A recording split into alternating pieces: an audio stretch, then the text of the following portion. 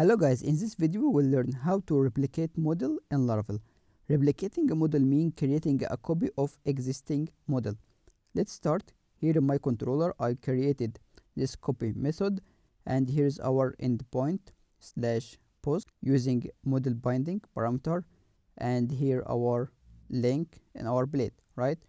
The first thing to create a copy, let's create a variable here and our posts we want to create a copy from replicate using replicate method.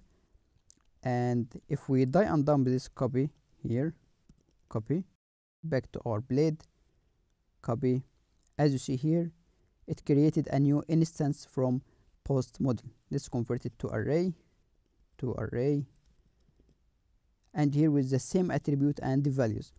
What if you want to accept some columns or values from here. For example I want to create a copy without title and body because I will override them.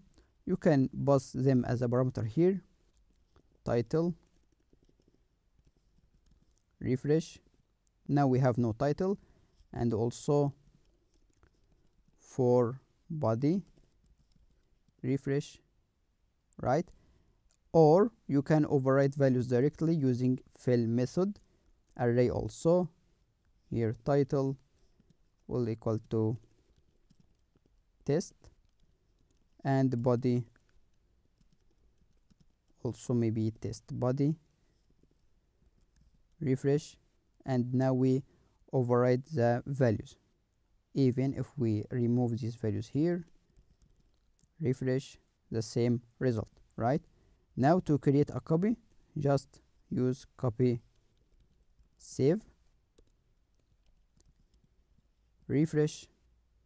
Back to our database. We have one. When we refresh it creates a copy from the first one but we modified the title and body. Let's remove these modifications and it will create the same copy of the same post id 2 here this one. When we refresh back again to our database refresh. Here's the same copy of the id 2 here's about replication in laravel. Support me by clicking on like share and subscribe. See you in next videos